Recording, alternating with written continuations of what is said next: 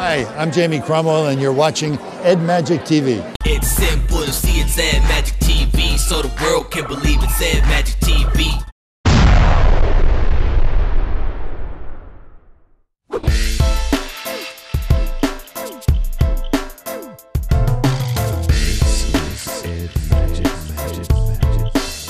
It's about getting together with the people you, you know.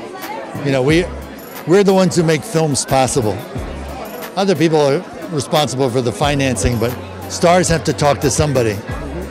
And we're it. And I love what you said about that, but really everybody's trying to get a project going that they have, that they want, and you know, it's about raising money, but I suppose that no matter what it is, they're going to raise the money because people still want to go to movies no matter what the economy's like.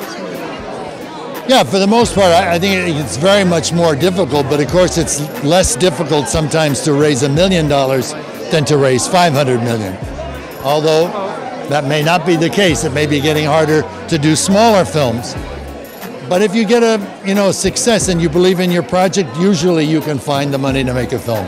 You have some projects you're raising money for? I'm directing a film in in uh, Italy, and I'm I'm going to get it done come hell or high water. I love that because we went to the Italian American Festival uh, over at Grauman's Chinese, and uh, I talked with Samuel Jackson there and some other people. It was an exciting moment because their films are so passionate.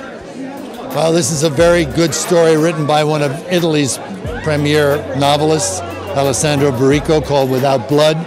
Uh, I think it's a very important story.